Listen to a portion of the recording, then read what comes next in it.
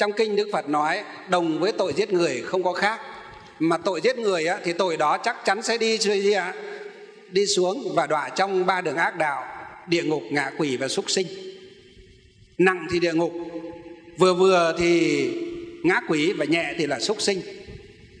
Cho nên không có chuyện tự tử là gì? Là giải thoát đâu. Tự tử là được an vui được thoát khổ đâu. Các quý vị đừng hiểu lầm như thế.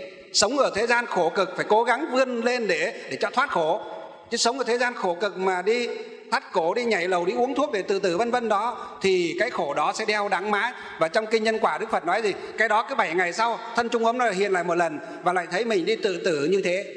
Khổ đau vô cùng các quý vị. Rồi á, hết 49 ngày ngưu đầu ngục tốt, hoặc trong vòng 49 nguyện đem công đức này. Trang nghiêm Phật tịnh độ trên đền bốn trọng ân. Giới cứu ba đường khổ.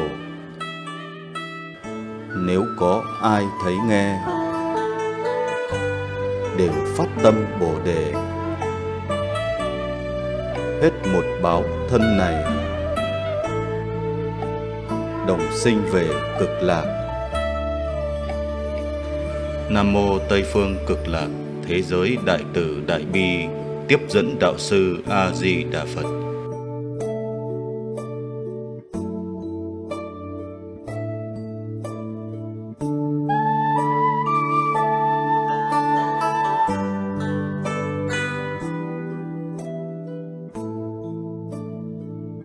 Nguyện tất cả chúng sinh đều tín niệm di đà, đồng cầu sinh về nước cực lạc.